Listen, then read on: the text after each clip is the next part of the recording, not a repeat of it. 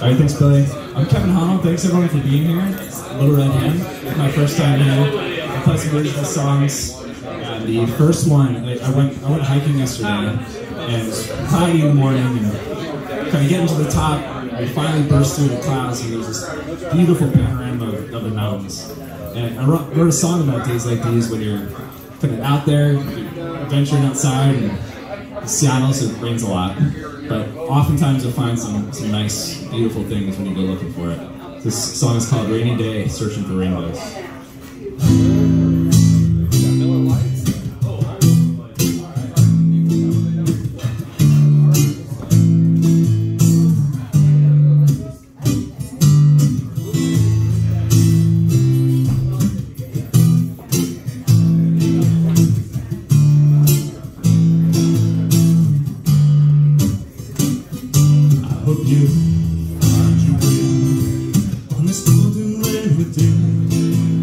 The sun is gone to hide, it's gone straight.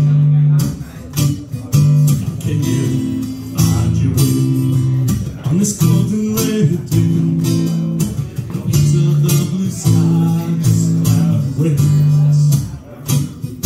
And if you want to stay on this day, so decide.